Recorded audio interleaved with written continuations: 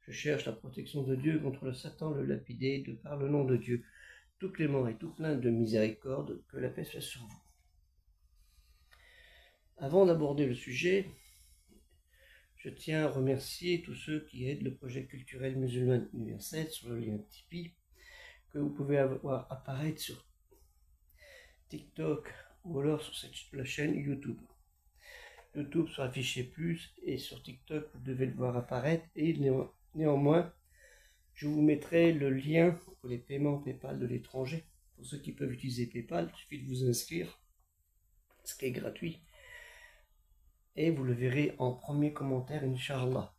Concernant le sujet, je vous mettrai aussi sur TikTok, dans le commentaire, second commentaire, Inch'Allah, ou en premier, le lien du sujet qui est marqué sur le site de la mosquée de Touar, que j'ai créé, qui a à peu près 3 millions de visites, un peu plus de 3 millions 100 000 choix de visites.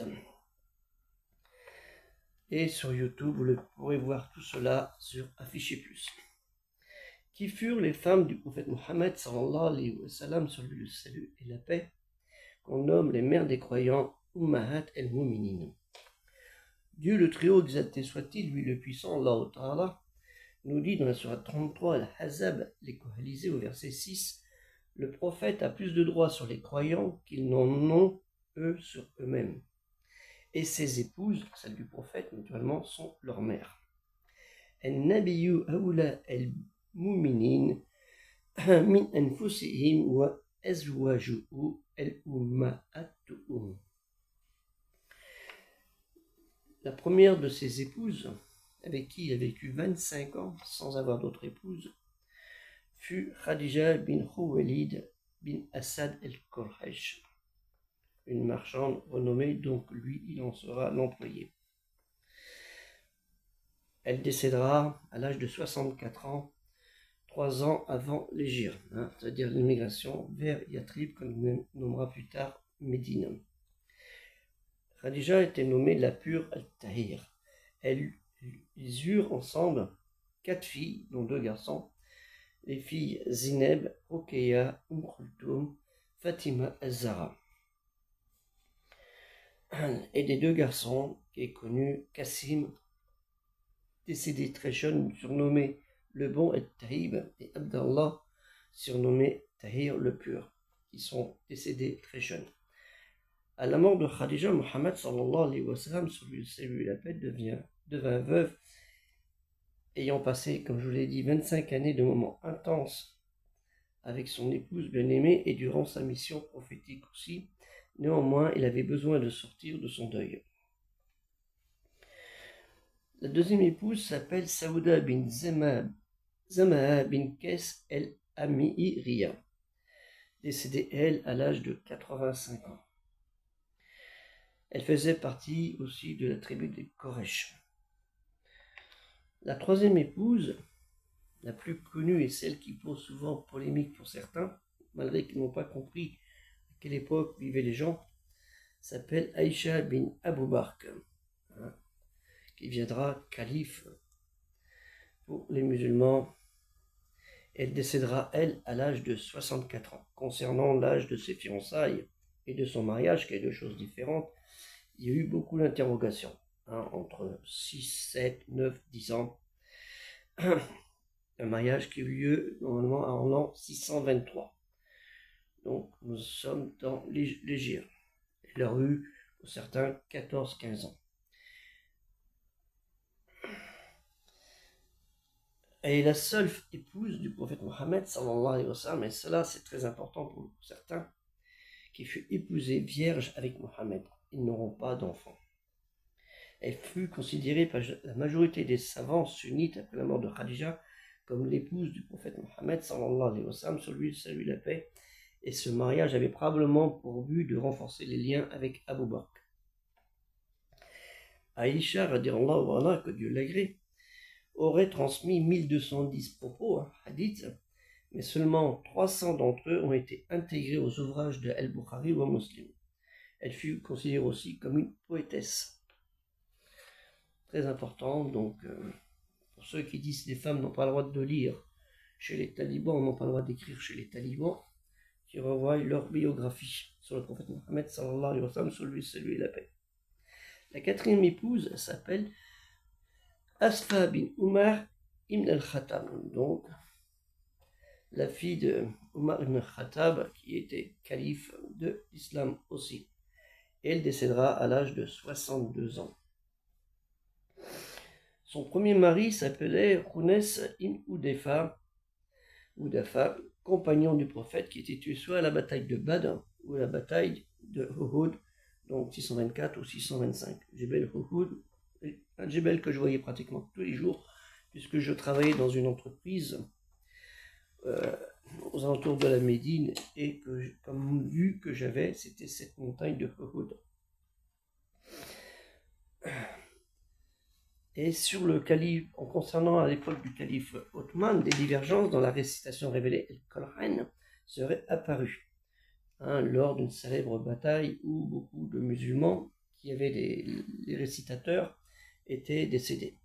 Et ce dernier alors avait décidé de réunir l'ensemble des sourates dans un ouvrage manuscrit codex, on appelle Moussaf. Et pour ce faire, il demanda à Asfa de lui faire parvenir ses feuillets de la version récitée El Kolhain qu'elle garda depuis la mort d'Abou Bark afin d'y préparer plusieurs copies. La cinquième épouse s'appelle Zineb bin Kouzena, Kouzema, excusez-moi, décédée très tôt à l'âge de 30 ans. Également connue aussi sous le nom de mère des pauvres, Oum el Meskin, à cause de sa grande charité et de sa grande gentillesse, elle était aussi veuve en 624 de Oudeba bin el-Harith de la tribu de El-Muttalib, frère de l'aide de Mohammed et compagnon du prophète décédé lors de la bataille de Badr. Elle épousa le prophète Mohammed en l'an 626, soit l'an 4 de l'Égypte. La sixième épouse s'appelle Umm Salama Enbit Abu Umayya. Elle décédera l'âge de 93 ans, mieux connu de par Umm Salama ou de Un el Marzoumiya. Le mariage durera 7 ans avec le prophète Mohammed, ce qui paraît évident, vu son âge et la date où elle l'a épousé. Et Umm Salama a accompagné à diverses reprises le prophète Mohammed dans de nombreuses batailles et c'est même elle en 628 qui a donné un avis le jour du traité de Obédia. Elle lui avait conseillé de ne parler à personne jusqu'à la fin des pourparlers. Elle était décrite comme ayant une opinion correcte et un esprit mûr. Comme quoi les femmes ont une grande importance dans la société musulmane, quoi qu'en disent certains talibans ou d'autres intégristes idéologiques musulmans qui n'ont pas très bien compris ce qu'était la religion musulmane. Elle décéda en l'an 680, 62 de, de et était la dernière femme du prophète Mohammed à quitter ce monde. La septième épouse s'appelait Raina bin Zaïd, décédée à l'âge de 42 ans. C'était une femme juive de la tribu des Banu Nadir. Elle faisait partie du butin de la victoire contre la, tribu des Banu Khoreza à la cinquième année de l'Égypte en 626 à ce sujet, euh, nous avons dans la récitation récitée El Kolhan, au chapitre soit 8, El Anfal le butin, voir le verset 56 et 58 concernant ce traité, la bataille contre les Banu Reza. Raïna était considérée comme esclave de guerre et Mohammed lui, sallallahu alayhi la paix, lui avait offert le statut de devenir son épouse si elle avait accepté l'islam, l'obéissance dans l'obédience, mais celle-ci avait refusé. Néanmoins, elle, proposa le, elle avait refusé et Mohamed lui proposa le mariage à condition qu'elle mette aussi de mettre un voile. Mais elle dit non, laisse-moi en ton pouvoir, je préfère ne pas être mariée et conserver ma religion, parce que ce sera plus simple pour toi et pour moi, c'est ce qu'il lui avait dit. Alors il la laissa dans sa situation. Et Raïna resta attachée à sa religion, ce qu'on appelle le judaïsme donc à ceux qui ont une haine envers le judaïsme, vous voyez ce que le prophète Mohammed avait non pas une haine des juifs ou une haine du judaïsme, qui est deux choses différentes, une haine des israélites, mais était en conflit avec des tribus qui trouvaient certains intérêts avec les polythéistes, les Koresh. Cependant, après certain temps, elle décide de se convertir à l'islam, l'obéissance dans l'obédience, l'assujettissement avec crainte et amour en Dieu. Et Mohammed sallallahu alayhi wa sallam put l'affranchir et l'épouser officiellement. Elle était restée avec le prophète Mohammed sallallahu alayhi wa sallam qui le traitait avec beaucoup de générosité et lui donnait tout ce qu'elle demandait. Elle est décédée à son retour lors du retour de pèlerinage d'adieu à Jad al-Hawada en 632 du prophète Mohammed La huitième épouse s'appelle Zineb bin Jash, décédée à l'âge de 51 ans. Son père était Jash Imri, installé à la Mecque, et sa mère était Umayya bin Ed el-Mutalib, et sœur du père de Mohammed. Elle est donc une cousine germaine du prophète Mohammed, sallallahu alayhi celui paix. Son premier mari, on ne le connaît pas trop, n'a pas trop de références, mais il serait mort vers 622. Veuve Mohammed, sallallahu alayhi wa à Médine arrangea le mariage de Zineb avec Zayd bin Harirat, l'un des premiers convertis qui était son fils adoptif et le seul contemporain nommément cité dans la révélation récitée El Kolheim. Zineb était opposée au mariage qu'à ses frères le rejetait aussi parce qu'elle était d'une lignée aristocratique et Zaïd était un ancien esclave et, peut-être un fils adoptif, même fût-il de Mohammed. À ce, sujet, euh, il suffit de revoir le, la Surat al-Azab 33 au verset 36 euh, concernant l'acceptation avec, le mariage de Zaïd. Et au verset surat 33, elle azab les factions au verset 4 et 5 qui abroge l'adoption. Zineb était artisane, elle tannait les peaux et distribuait aux nécessiteux tout ce qu'elle possédait. La neuvième épouse s'appelle Joubera bin el Harit, décédée à l'âge de 68 ans. Elle était la fille de Harit ibn Abidina, d'Irar, chef de la tribu des Banu Mustalik. Elle avait vécu euh, mariée avec le prophète Mohammed jusqu'à sa mort, soit environ euh, mariée 5 à 5-6 ans. Jouvera avait été, décrite comme étant une femme très belle, raffinée, d'une beauté exceptionnelle, gracieuse, élégante, sage, éloquente en paroles, maîtrisant la langue et le style littéraire, intelligente, élevée dans le luxe avec tout le raffinement et les grâces d'une princesse dans l'une des familles les plus éminentes de l'époque. Pour les musulmans, ce fut une réussite très prisée par les Arabes contemporains. Donc, quoi qu'on en dise, les fanatiques, les intégristes, les idéologies, qui veulent mettre les femmes en dessous de leurs pieds, qui prennent exemple sur le prophète Mohammed, eux qui le citent très nombreusement et qui l'insultent souvent en ayant de telles pratiques. La dixième épouse s'appelle Rumla bin El Abi Soufiane, connue par Oum Habiba. Elle est décédée vers l'âge de 72 ans. Oum Habiba était la veuve de Ubedillah bin Jash, donc, qui était son sœur de Zineb bin Jash, future épouse du prophète Mohammed sallallahu Elle s'était déjà convertie à l'islam contre l'avis de son père. Mohammed sallallahu alayhi voulant l'épouser en 628 à son retour de Khaybar, ils furent mariés durant quatre années, comme je l'ai dit. La onzième épouse s'appelle Safia bin Huwayn. Elle était née à Yatrib, la future Médine, et appartenait à la tribu juive des Badou, Banu Nadir. Comme quoi, vous voyez, le prophète Mohammed n'avait aucun problème d'épouser des femmes de religions différentes. Hein, alors que certains euh, cracheraient plutôt dessus.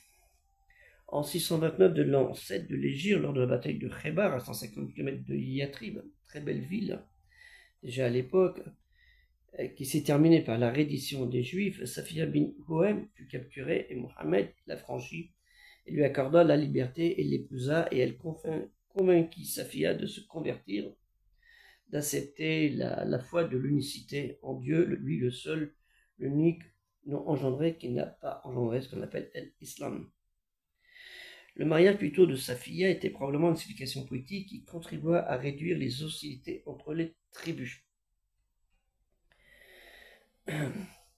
Et Safia avait l'habitude de distribuer tout ce qu'elle avait pour l'amour de Dieu, au point qu'elle donna une maison qu'elle possédait alors qu'elle vivait encore.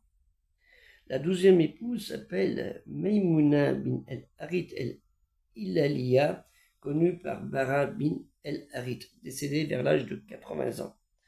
Son mariage avec le prophète Mohammed prend place vers à peu près 629-630, alors qu'elle devait avoir, elle devait avoir 27 ans. Donc, quoi qu'on en dise, dit le prophète Mohammed, prenez des petites filles. Et bon, certaines avaient 27 ans et Khadija, vous voyez son âge, 40 ans. Donc, on arrête de médire euh, le, prophète Mohammed qui dit que c'était euh, un, un, débauché qui cherchait que les petites gamines. Mohammed nomma son épouse El Maimouna, qui veut dire bénie, de bon augure, car son mariage avec elle eut lors, alors que pour la première fois depuis sept ans, il put rentrer dans sa ville Mecca, Mecca. Sa dernière épouse, qui est un symbole de fraternité, enfin de, solidarité, on va dire plutôt comme ça, entre les communautés, s'appelle Maria El Koutiba. À sa date de naissance, on ne le sait pas, mais elle serait décédée en 637 et nommée le don de l'Égypte. Maria la copte, chrétienne égyptienne, elle fut envoyée à Mohammed en cadeau avec sa sœur Sérine de la part de Moukaroukis, dernier préfet d'Égypte et d'Alexandrie, le chef des coptes. L'arrivée de Maria et de sa sœur eut lieu en l'an 7 de l'Égypte. Elle, elle donna à Mohammed un enfant qui s'appelait Ibrahim, troisième fils de Mohammed sallam, né en 629 et décédé vers 630, 631. Pour certains, elle était une concubine de Mohammed, mais pour d'autres, Mohammed l'épousa dès qu'il a reçu, elle est considérée comme la mère des, une des mères des croyants. Maria n'a jamais marié et ne s'est jamais mariée comme toutes les autres épouses du prophète Mohammed sallam, après la mort du prophète Mohammed sallallahu et mourut cinq ans plus tard en 637. Donc tous les mariages furent contactés après l'Égypte, excepté celui de Khadija bin Khoueli, première épouse de Mohammed, qui eut un rôle très important avec son époux pour le consolider dans les premiers moments de la révélation. Ce furent celles que l'on nomme les femmes du prophète Mohammed, les mères des croyants, Ummahat el-Muminin. Que la paix soit sur la Sam à l'école et aider le projet culturel musulman universel.